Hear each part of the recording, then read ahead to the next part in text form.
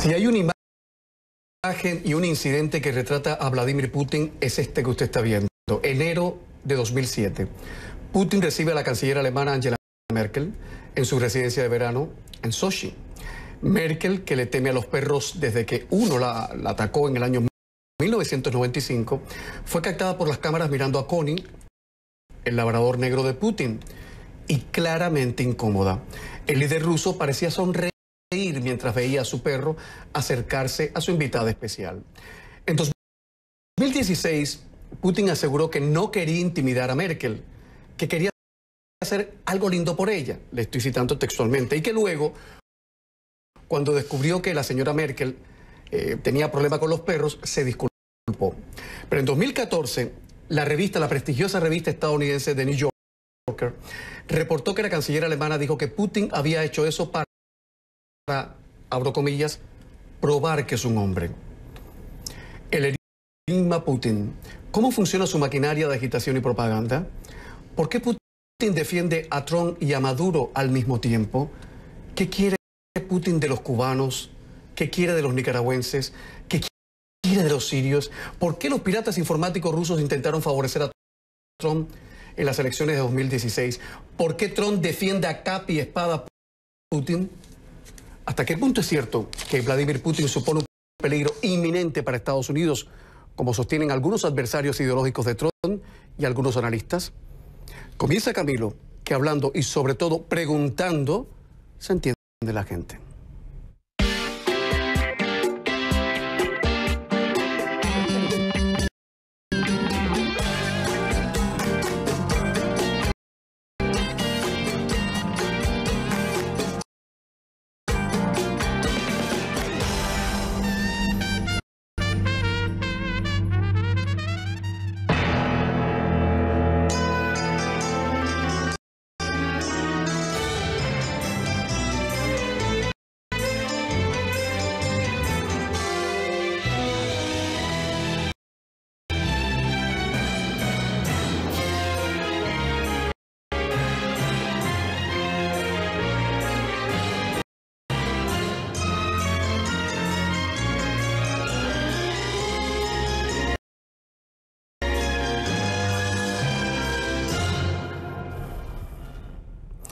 Bueno, antes de presentar la mesa de análisis, dos hechos.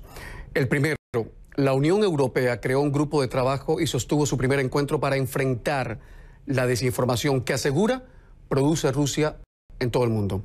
Segundo hecho, hace apenas unas horas, poco antes de cerrar este programa, el gobierno de los Estados Unidos le ha dicho a sus ciudadanos, y voy a citar, que sean conscientes de que hay actores extranjeros que continúan tratando de influir en las elecciones. Una exhortación que surge en la víspera del llamado Supermartes, cuando los electores van a las primarias en 14 estados y un territorio.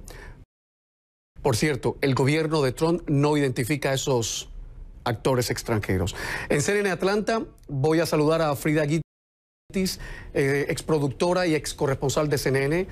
Eh, analista política internacional, colaboradora de esta casa, de CNN, colaboradora del prestigioso periódico liberal The Washington Post y además columnista de la World Politics Review. Bienvenida, querida eh, Gitti, ¿cómo estás? Hola, muy bien, Camilo, un gusto estar contigo.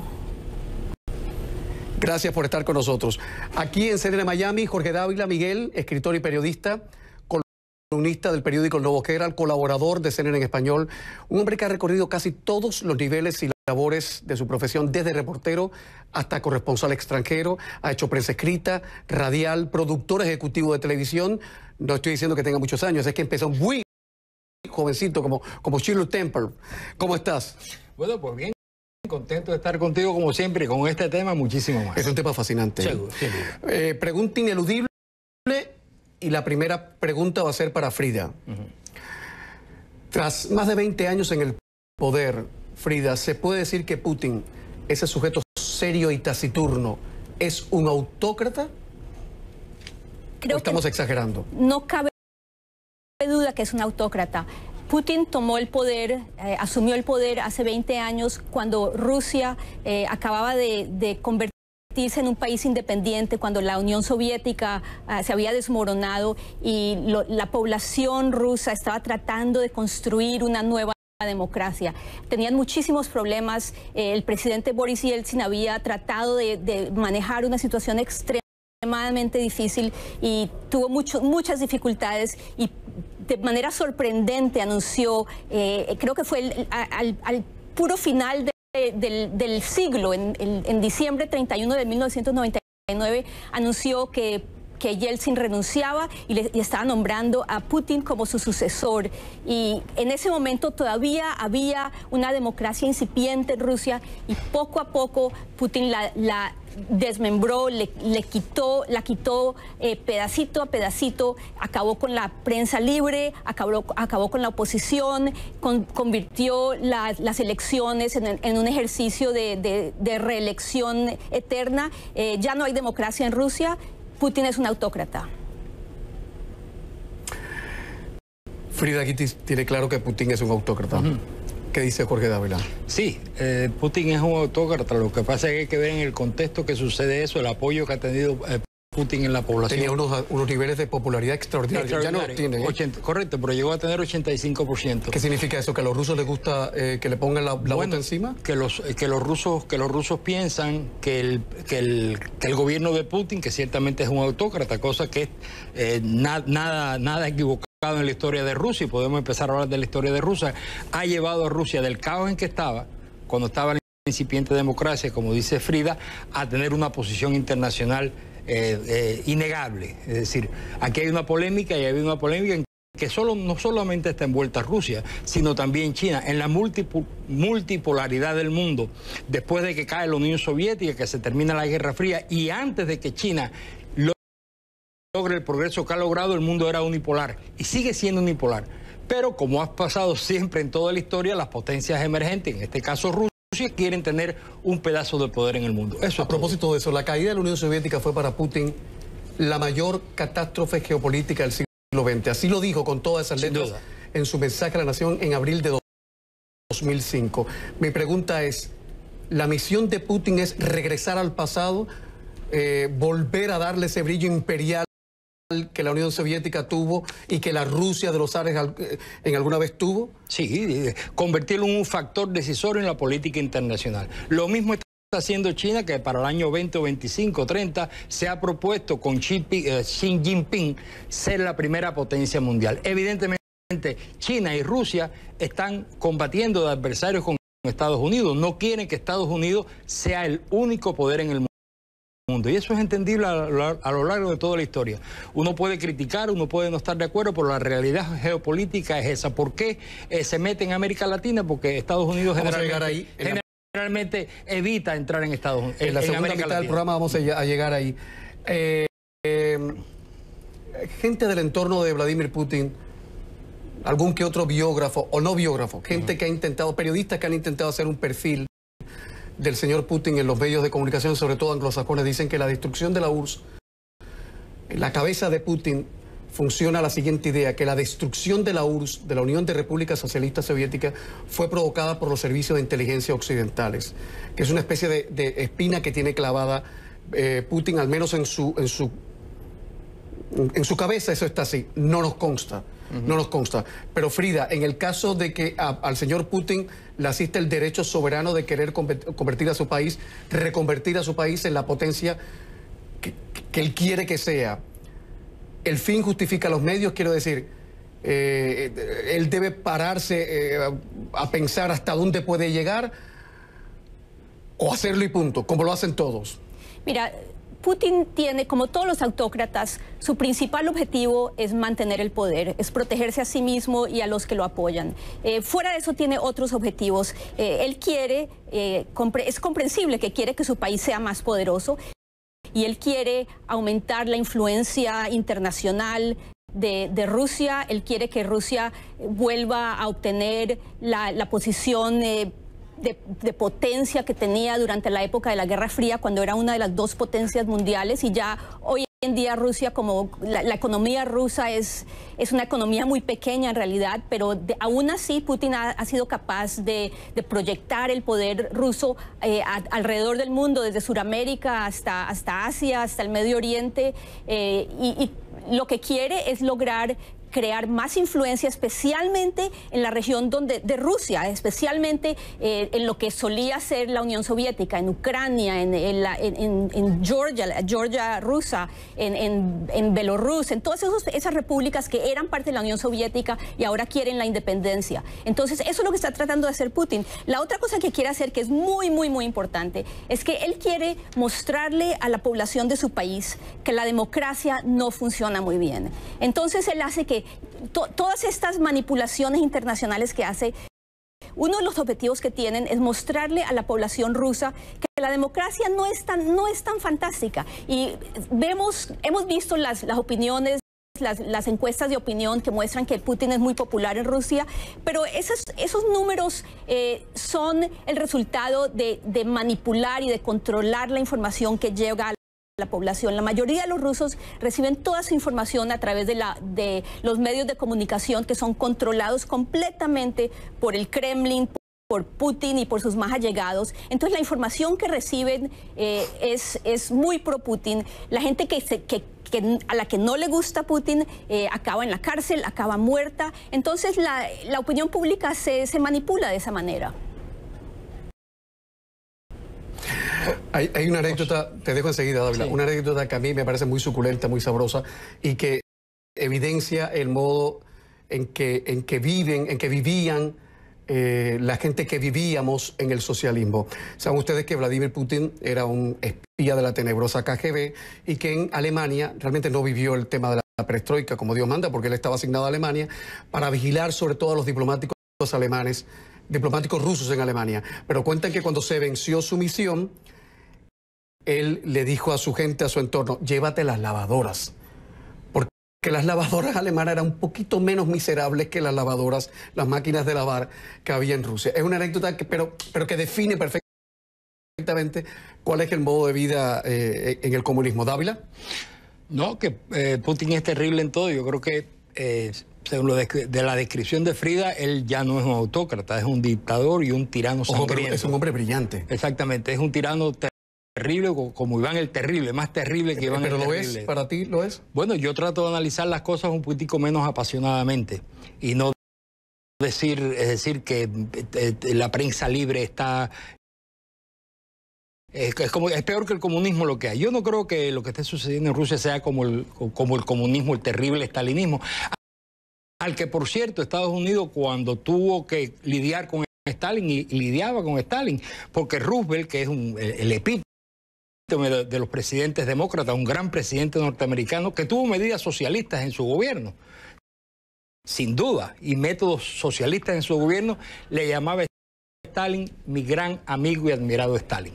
Entonces yo creo, a mi juicio, que hay que estar un poco proporcionado y no convertir eh, un análisis en una serie de adjetivos que a veces no son ciertos. Mm, bueno, que Frida tome nota, pero en todo caso yo no le recomiendo ni a Frida ni a Dávila, que los quiero mucho, que se conviertan en opositores de Putin, porque la pueden pagar Claro, lo, único que eh, digo. Sí, no, yo sé, pero, pero eh, yo no, yo no estoy dudo que ningún estado, y más el estado autocrático que tiene, que tiene Putin, tenga medidas coercitivas. Pero que cualquier persona que esté, que, que, piense democráticamente termine en la cárcel o muerto, me parece, a lo mejor yo estoy equivocado, no es el caso. O, envenenado. Camilo, permíteme. Porque se ha dado el caso. ¿Me permites, sí, Camilo? Sí, te doy, te doy un minutito, un minutito antes de la publicidad.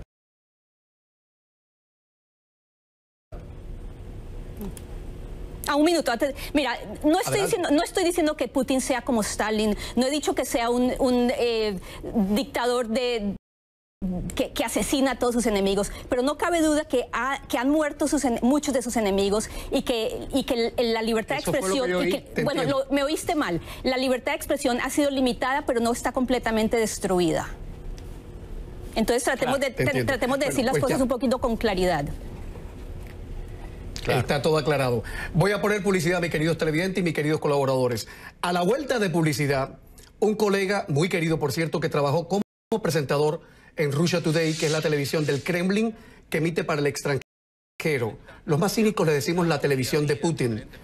Y va a contar en este programa lo que allí vio, lo que allí padeció, lo que allí tuvo que ocultar como ciudadano del mundo libre que es.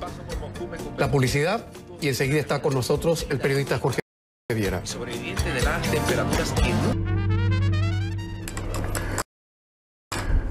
Jorge Viera, reportero y presentador de noticias con más de 20 años de experiencia en la televisión hispana de los Estados Unidos, ha trabajado para las dos cadenas, las dos grandes cadenas de televisión de este país, Telemundo y Univisión, y fundador y director general de La Calle TV, que es un portal dedicado eh, a, las noticias, eh, a, un tipo de noticias de la Alternativa, alternativas en, en, es que no quiero decir la palabra alternativa porque recuerdo lo que pasó cuando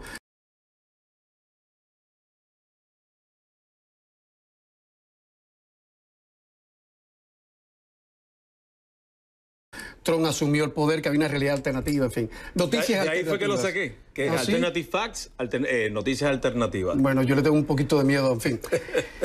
Abro comillas, ellos sabían y yo también. Así ha resumido Jorge Viera el incidente que propició su renuncia en marzo de 2012 como presentador de Russia Today, la televisión del Kremlin o la televisión de Putin que emite para el extranjero. Buenas noches, te agradezco que estés acá en el programa.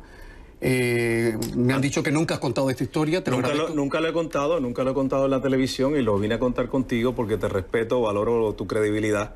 Y es importante que en los tiempos de Trump, en los tiempos de Putin, en los tiempos que estamos viviendo, se hable un poquito de lo que realmente se vive en Rusia. Y yo soy testigo de primera mano de haber trabajado en ese canal. ¿Cómo y cuándo ellos eh, te reclutan o te captan o te invitan a trabajar con RT? Pues mira, eh, eh, en el 2009 yo venía de la crisis de Estados Unidos, decido vivirme a Barcelona, eh, empiezo a cubrir fútbol, aunque no sé mucho de fútbol, cubría fútbol para Univisión, cubría el Real Madrid y el Barcelona. En la cancha del Camp Nou conozco unos rusos y me dicen, mira, este, estamos reclutando personas como tú que de los Estados Unidos para que vengan a trabajar a la televisión rusa. O sea, cuando, perdón, Wintercott, cuando dice personas como tú, estamos hablando, infiero que están hablando de periodistas curtidos, bilingües, formados. Eh, y, la línea que te decían era, nosotros estamos tratando de crear una BBC de Londres, en Rusia. Y yo, pues perfecto, yo estoy aquí en Barcelona, Moscú, mis hijos estaban viviendo también conmigo allá, estoy a dos horas de, en vuelo, dos horas y pico a Moscú. Eh, solamente tenía que trabajar siete días a la semana, los otros días siete estaba libre y para mí pues, iba a ser una experiencia única. Ah, ¿Te daban una semana libre? eran siete días corridos y siete días libres. Ya, qué bien. Entonces empiezo... Oye, ¿pagaban bien? eso sí puedo, tengo que decirle que pagaban eh, muy bien, pero era muy raro el pago porque el pago se hacía en el sexto piso del edificio de RT. Nunca te daban un cheque, te daban una tarjeta y tú tenías que sacar los rublos en efectivo como los fueras a sacar y tratar de cambiarlos en dólares para llevártelos para, para Europa. O sea, sacar el dinero de un cajero y cambiarlo. y cambiarlo en el piso séptimo. Entonces yo siempre le preguntaba, ¿quién es el que nos paga? Exacto. ¿Quién es el que nos paga? Porque yo necesito saber quién me paga. Y una persona que trabaja ahí, que no quiero identificar porque todavía sigue ahí, me dice que es Gazprom, que es la compañía de petróleo de, de Putin. ¿Cómo? Y ahí empiezo yo a sacar un montón de, de, experiencias, a vivir un montón de experiencias haciendo el noticiero, pues yo me sentaba a leer las noticias, decía, por ejemplo, eh, la guerra de Siria. La guerra de Siria, eh, varios niños murieron este, y fueron, eh, murieron debido a armas AK-47. Perfecto, hasta ahí está bien. Cuando empiezas a leer la noticia, en vivo te cambian el teleprompter y te dicen el gobierno de los Estados Unidos está matando a los niños en Siria.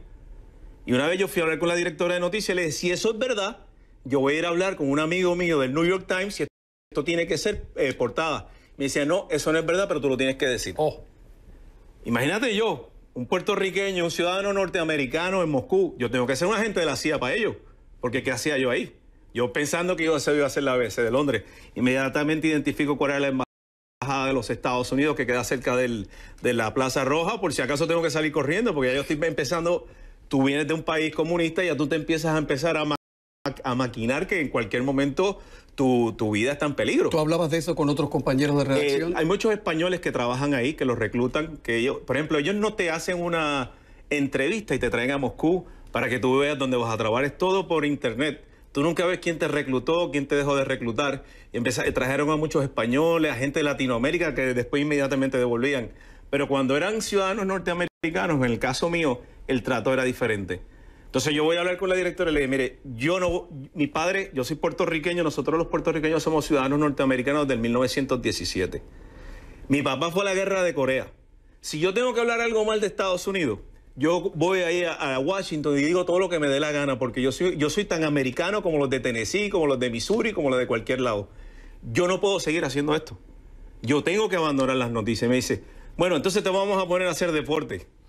Porque en los deportes es 2 a 1. Si el juego es 2 a 1, después tú puedes hacer Mm, Sí, una claro. interpretación del juego. Ah, pero no puedes decir que es 1 a 2. Pero en las noticias es, to- es una to- to- total eh, manipulación de la información que transmiten ellos en contra de los Estados Unidos. Y el argumento de usted puede decir, ah, es que todos los canales tienen una, línea- una línea editorial. Tú puedes tener una línea editorial, tú puedes ser un poquito más de centro, de derecha, como Fox o lo que sea. Pero yo, en ninguno de esos canales está en contra de los Estados Unidos. Un, un intercop. Estamos hablando de RT, la televisión del Kremlin para el extranjero, que su equivalente en Alemania sería la Deutsche Welle, su equivalente en Pero Gran lo estás Bretaña sería, con- con No, no, sería, BBC, su equivalente en Rusia sería, en Cuba sería Radio Habana Cuba. Eh, mi pregunta es, ¿todos los países no hacen eso? Yo ¿O creo- no lo hacen como lo hacen los rusos? Yo creo que Viera, como está hablando desde un punto de vista de una experiencia personal, está revelando que eso es una campaña de desinformación. Es una campaña, eh, es decir, eh, eh, eh, dirigida a desinformar, porque su, eh, suprimir noticias y quitar eh, imagen interpretada de otra manera es una campaña de desinformación. Ahora bien, cada país tiene su proyección exterior. Es cierto que en, en- en los canales canales internacionales como BBC, etcétera, etcétera, no se hace eso, pero los canales internacionales, sin justificar lo que están haciendo y que tú eres, yo no puedo com- comparar y entender porque tú estuviste ahí tú lo estás relatando en primera persona, eso es una, eso es una manifiesta malinter- ma- eh, es decir, malinformación, fake news, lo que sea. Cada gobierno tiene su canal para proyectarse al extranjero. Eh, Camilo, Cada ¿me gobierno permites? tiene la capacidad de hacerlo. Lo que pasa es que depende. Sí, Frida, te doy la oportunidad ahora. Lo que, vale. lo que pasa, lo que pasa es que depende si se hace dentro de los cánones generales del periodismo que lo hacen las agencias como la BBC, La Voz de las Américas, etcétera, etcétera, y lo que está relatando él. Frida, pregunta Frida Guitis desde CNN Atlanta, que está por una parte de la mesa. Adelante, Frida, que Mira. nos queda de minutos antes de ir a publicidad. Bueno, en, la RT se, sabe muy bien que es una cadena noticiosa, eh, sea en inglés o en español, eh, es, una herramienta de política exterior del, Kremlin. Y lo que le quería preguntar a Jorge es, eh, ¿quién era la, ¿quiénes eran las personas dentro de la organización donde estabas trabajando que, que inyectaban esa es- ese tono eh, político, ese, ese tono de tergiversar la realidad, de, de- convertir lo que, lo que tenía que, lo que parecía ser un noticiero en una herramienta de manipulación política. Es eh, bueno que me hagas esa pregunta porque nosotros nos hacíamos la misma.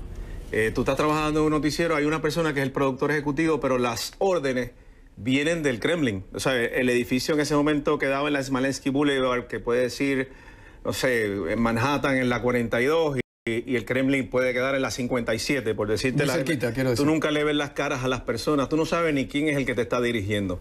Entonces, es una es una es un canal que yo he trabajado en la cadena Telemundo, he trabajado en Univisión, sigo trabajando con ellos como corresponsal, he trabajado en varias cadenas. En mi vida yo he visto una situación como la que tuve que vivir en Rusia. Inclusive yo todos los días pensaba que en algún momento me iban a secuestrar y me iban a matar.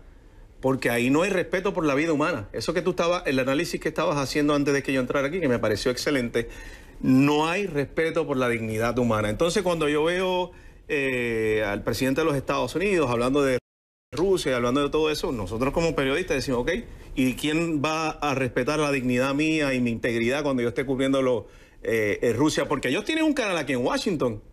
Ellos tienen un canal aquí en Washington donde transmiten todo lo RT, RT.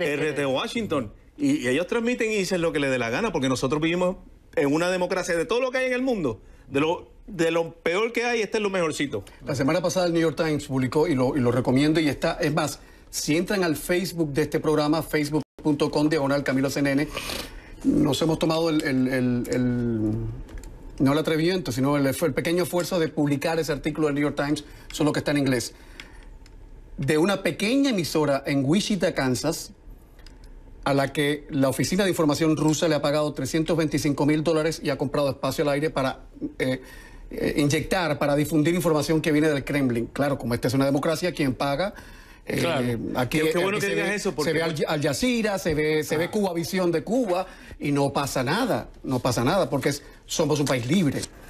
Permíteme poner publicidad porque ya me están eh, hablando casi en ruso pidiéndome la publicidad.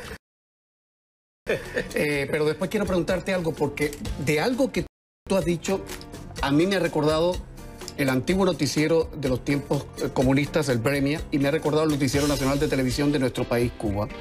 Eh, por esa cosa de la mente. Bremia, dijiste. Eh, no, no era Bremia el noticiero central de las 8 de la noche? En, en Rusia, ¿no te acuerdas? Sí, Sí, exacto. Era el premio, ¿no? Sí, sí. sí. Eh, Unas cosas que uno se acuerda. Publicidad, ya estamos de vuelta. Es pasiva. Es pasiva, ¿verdad?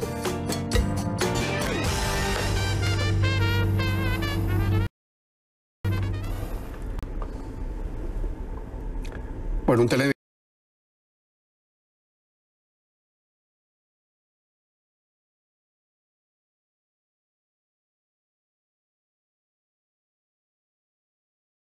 Televidente perspicaz, un televidente perspicaz dice que por qué no hablamos de radio y televisión Martí, que es el servicio del gobierno de Estados Unidos que emite para Cuba eh, contra el gobierno cubano. Ese es otro programa, pero existe ese servicio y tiene su sede aquí eh, en Miami, funciona con el dinero de los contribuyentes. Ese es otro programa. Frida Guite, una pregunta para, para ti. ¿Qué gana Putin con debilitar, y voy a citar los términos en- con los que el gobierno de Obama hablaba de la penetración rusa en Estados Unidos? ¿Qué gana Putin con debilitar la fe del público en el proceso democrático de Estados Unidos? Bueno, eso lo que estábamos hablando antes eh, tiene varios objetivos. Uno de los objetivos es eh, interno dentro de Rusia. Él quiere mostrarle a la población rusa que la democracia no es algo a lo que deben aspirar. A él le gusta cuan- cuando, se ve el caos que, que cunde en, Estados Unidos en, esta época, eh, cuando se ve la, furia que hay entre los diferentes grupos, los, ex- los extremos, cómo se atacan. Eso hace que la gente que está viviendo en países como Rusia, donde la democracia se ha desbaratado, piensen, bueno, tal vez la democracia no es algo a lo que debemos aspirar. Fuera de eso, eh, Putin obviamente quiere quiere que Rusia se vuelva más poderosa con relación a Estados Unidos. Entre menos, entre menos fuerte sea Estados Unidos, más fuerte es Rusia en comparación. Y, Putin tiene mucho miedo de que, de, que, Ru- de que Estados Unidos apoya los movimientos democráticos eh, en países aledaños a Rusia, países como Ucrania, que es un, país muy importante para Rusia. Entonces, esa es una parte muy importante de lo que están haciendo. Pero más que todo, ellos, lo que él quiere es que, es que haya caos dentro de Estados Unidos, que no haya confianza en las instituciones, que, que Estados Unidos se debilite de por dentro. Es, un, es una estrategia típica de un agente de la KGB, de, de infiltrar y, y- y- debilitar y identificar las, las debilidades del sistema. Yo lo hago todo. Hay que decir, eh, eh, esto es un hecho, eh, lo que voy a decir es un hecho. Cuando Putin fundó Rusia Today, dijo que lo hacía para, y cito, abro comillas, romper el monopolio de los medios de comunicación anglosajones. Y admitió que aunque financiada por el Estado ruso, ese canal no haría la apología de la política del Kremlin.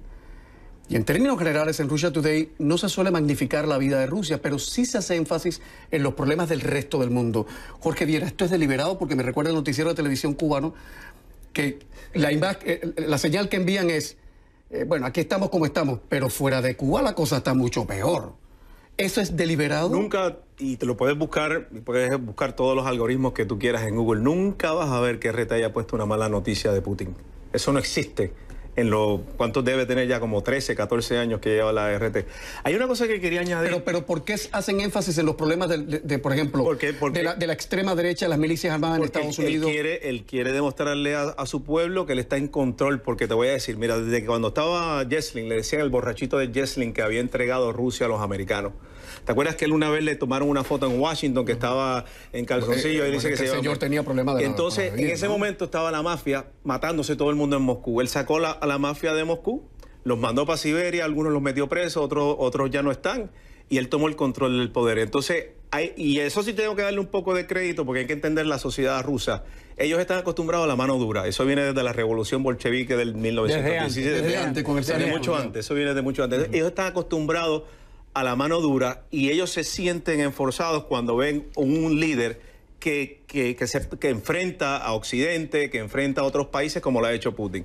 Entonces eso sí tengo que darle crédito porque no es las democracias, yo aprendí estando ahí, no funcionan en todos lados, es lo que veo.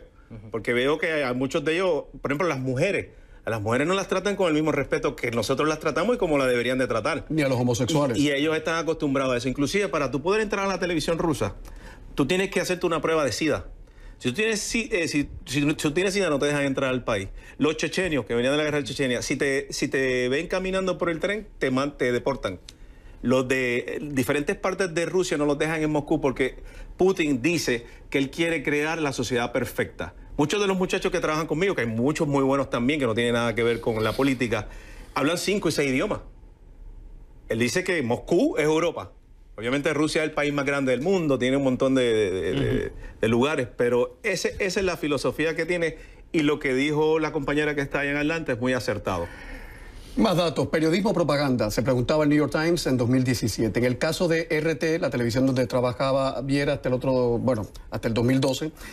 en el caso de RT, la distinción, dice el Times, no parece clara, porque es una tele en la que se mezclan personajes como Noam Chomsky, Julian Assange, Pamela Anderson, Rafael Correa, y que se caracteriza, según el Times, por ofrecer, y vuelvo a abrir comillas, un escepticismo profundo sobre las visiones del mundo que hay en Occidente y en Estados Unidos. Y dice, además, el periódico, que es una granja de contenido que proporciona alimento a la extrema derecha de Europa. ¿Cuánta gente trabaja en, en, en, en Russian Today? Eh, tú- eh, los según datos de los datos en español. son en español solamente 200 según datos proporcionados por ellos. 200 solo en español. 200 solo en español, el presupuesto es gigantesco y es, es- es una herramienta del Estado, del Estado ruso en este caso. Pero yo quiero decir que la preocupación de Estados Unidos por las democracias, por ejemplo, en Ucrania, es, es, es loable. Pero si Estados Unidos se preocupara por la democracia en todas las partes del mundo. Exacto. La preocupación de la democracia es selectiva, se preocupa en Ucrania y a mi juicio, no porque sea, es decir, que, que- que la democracia sea el dios de, de Estados Unidos, sino porque es también, como dije anteriormente, un interés geopolítico de estar cerca de, de Rusia y hay una, hay, una, hay una polémica y hay una situación con la OTAN, etcétera, etcétera, que se nos va del camino y toda nación, en respecto a Ucrania, usted puede decir que la democracia, etcétera, etcétera. Yo quisiera preguntar si ha progresado la democracia, en, en primer lugar, si ha, democracia, si ha progresado la democracia en Ucrania. Y segundo, si como dice el compañero, la democracia siempre es la que soluciona todas las cosas, cosas que yo dudo, aunque respeto las buenas democracias. A la vuelta de publicidad, ¿por qué Trump defiende a capa y espada a Putin cuando su servicio secreto le está diciendo lo que estamos diciendo nosotros en esta mesa? ¿Por qué Putin defiende a Trump? ¿Por qué Trump defiende al mismo tiempo a Putin y a Maduro? ¿O a Raúl Castro y a Daniel Ortega? ¿Qué sabe Putin de Trump que nosotros no sabemos? Ya volvemos. Los otros interlocutores del programa que son ustedes están escribiendo con el hashtag Camilo Putin. Azucenita Avendaño dice que es un excelente programa, gracias al cual se conoce el otro lado de, Putin. Alguien que firma la Democraté dice eh, el programa está mostrando realidad de lo que ocurre en Rusia y alguien que firma Prestec dice que él no ha visto en su vida nada que el presidente Trump haya dicho ni hecho a favor de China ni de los rusos. Frida Gitis, ¿por qué Putin defiende al mismo tiempo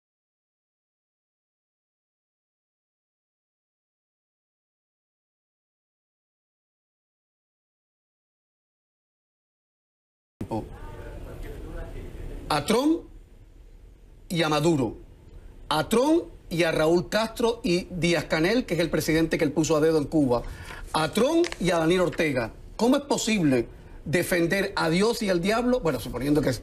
No, eh, eso que he dicho, lo, bórrenlo, porque ni uno es otro, ni, el, ni- ninguno merece el calificativo ese. No, no, no. Eh, Dios es Dios y el diablo merece mejor representación eh, iconográfica y, y política. ¿Cómo es posible esas dicotomías, es- esas aparentes contradicciones en la personalidad de, de Putin? Sí, parece algo contradictorio, casi que esquizofrénico, ¿no? Pero no lo es. Eh, Putin quiere, a, Putin le gusta Trump porque Trump tiene tendencias eh, que, le podría, que le pueden ayudar a Putin. Principalmente su falta de respeto por las instituciones democráticas, eh, su- sus ataques contra, contra la OTAN que han debilitado a Occidente, sus sus, eh, su tendencia a, darle crédito a las teorías de conspiración que le ayudan a Rusia.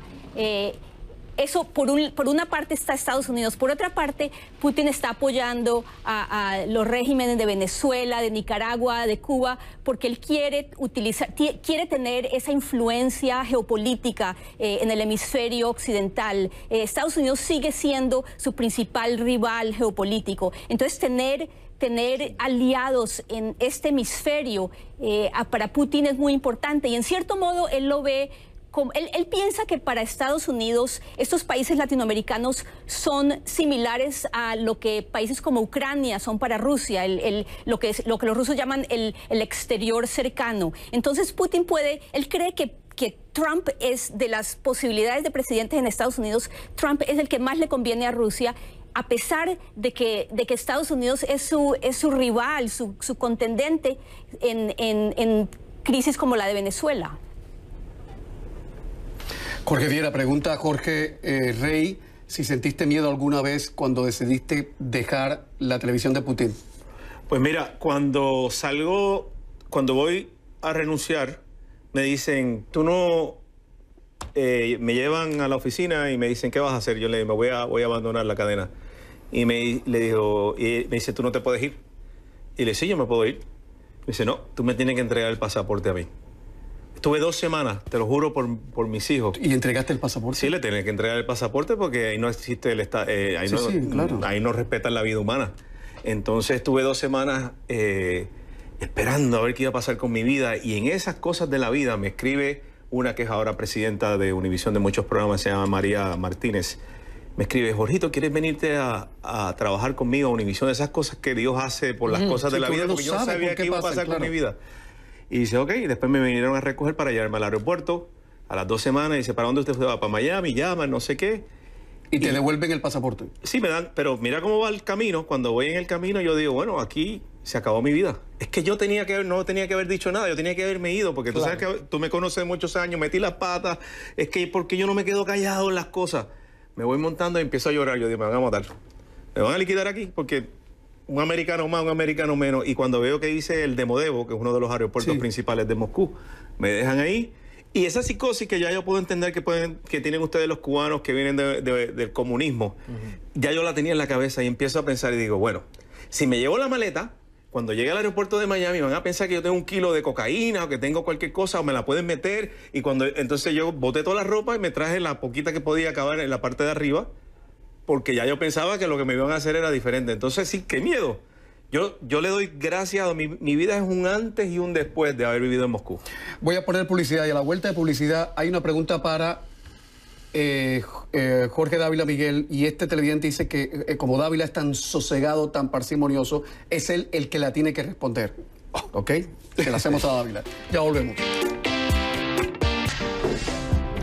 El amigo ruso de Díaz Canel. Porque si algo es Putin, es que es muy amigo de sus amigos. Esta imagen es de mayo de 2000. 18, eh, no, este es noviembre de 2018, pero en mayo de 2016, Vladimir Putin, durante su encuentro en el Kremlin con el entonces primer vicepresidente de Cuba, Miguel Díaz Canel, tres años después, en octubre de 2019, Putin acepta visitar Cuba y Díaz Canel, convertido ya en presidente por Raúl Castro, confirma que va a viajar a Moscú en 2020. Es que Putin es... Putin es muy amigo de sus amigos, eso sí está claro, ¿eh? Una pregunta que hace un televidente con el hashtag Camilo Putin, el televidente Tocayo, Camilo Guerrero, le pregunta a, Jorge Dávila y Bobby S., que firma así, le pregunta a Jorge Dávila, ¿cómo es posible que la democracia de Estados Unidos sea tan tonta para dejar entrar toda esta información, todos estos canales de Putin, de Cubavisión Internacional, de, de Telesur, etcétera, de Al Jazeera? ¿Cómo es posible? Bueno, preguntarse que una democracia puede ser tonta es el primer camino al autoritarismo. Es decir, cuando tú te empiezas a preguntar por qué esta democracia es, tonta, ya tú estás yendo hacia el autoritarismo y la dictadura. La esencia de la democracia es y debía ser la pluralidad de opiniones y la capacidad de información para la persona decidir por él mismo. Pero cuando, los canales, pero cuando los canales eh, espían eh, en el gobierno donde están trabajando, entonces eso es una invasión a la democracia. ¿A qué canal? Pero yo no estoy, hablando de, por ejemplo, de RT, porque estamos hablando de... No, no, yo no estoy hablando de RT. Mm. La pregunta que me han hecho es por qué Estados Unidos permite de regímenes que hostiles entran. porque es una democracia. etcétera, etcétera. Okay. Se, eh, bueno, no, lo que pasa es que el tema, la guagua. No, porque pasa que el tema es RT, entonces no, ya tú tema hablando no, de los canales. No, no, no todos los canales de regímenes hostiles. Pero Frida Guitis, por favor. ¿Hasta qué punto es cierto, hasta qué punto es cierto que Vladimir Putin supone un peligro inminente para Estados Unidos, como dicen algunos analistas? De los llamados liberales, liberales eh, a la manera estadounidense, ¿eh? analistas que, eh, que, están en contra abiertamente de Donald Trump. ¿Hasta qué punto es cierto? Mira, Putin es, es, una amenaza contra la democracia en todo el mundo.